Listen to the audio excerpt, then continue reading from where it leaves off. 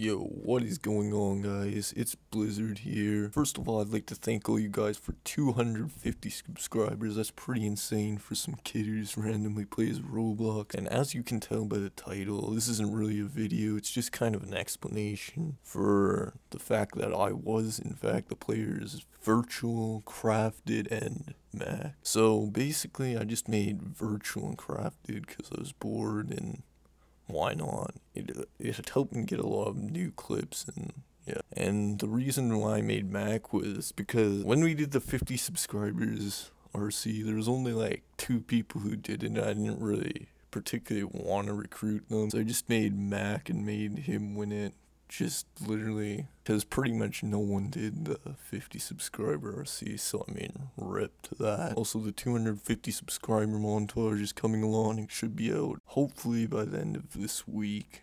Maybe but even by the end of this weekend if I'm lucky. But yeah, guys, thanks for watching, and I'll see you guys later, hopefully with the 250 subs montage soon. See ya.